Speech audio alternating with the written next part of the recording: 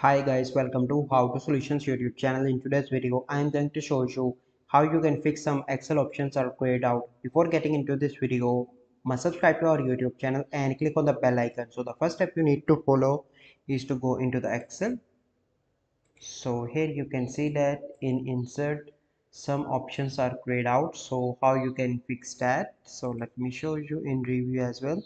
So the first step you need to click on file and then you need to go into the options and then you need to go into the advanced and here you need to scroll down until you will find an option display option for this workbook. For objects show click on all and then then you need to click on ok. And here you can see that now all options are visible to you. So this is a process by which you can fix some excel options that are grayed out. I hope you find this video helpful. If you find this video helpful must like this video subscribe to our youtube channel for future videos. We'll see you in the next video. Thank you. Have a good day